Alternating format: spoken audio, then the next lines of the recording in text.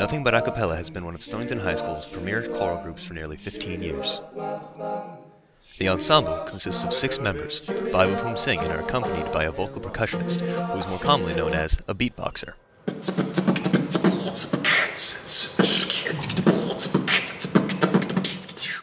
This all-male group, as well as the Stonington High School choral program overall, has thrived under the direction of choral director Christian Stanley. We sat down with Mr. Stanley and asked about the origins of NBA. I started NBA, I think my second year, so it was pretty early on that I that I got that going. There was not a lot of men when I first got here, so uh, it was sort of a recruiting sort of tool for me. We also talked to Corey Candelette, a senior and member of Nothing But Acapella.